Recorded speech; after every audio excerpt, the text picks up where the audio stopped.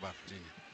Williams hands off to Hood, who punishes the potential tackler and gets a first down to the 30 yard line.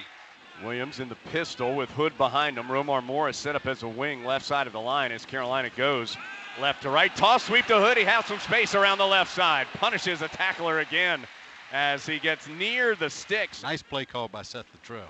This is the read option. Handoff to Hood. First down. Barrels over tacklers to midfield. Right up the middle for a gain of 14 on the play. Williams in the shotgun with Hood to his right. And he is going to hand it to Hood, who just drills a Virginia Cavalier, spins off of him, and hits pay dirt for six.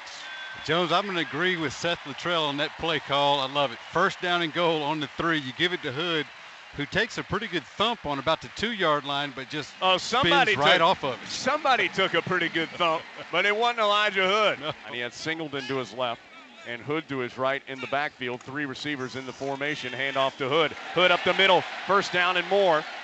Knocks over Blanding at the 37. I tell you what, Quin Blanding has taken the wrong side of Elijah Hood a couple times today. Man, he made first contact at the 37. The play ends at the 42. Or excuse me, Williams checks the sideline.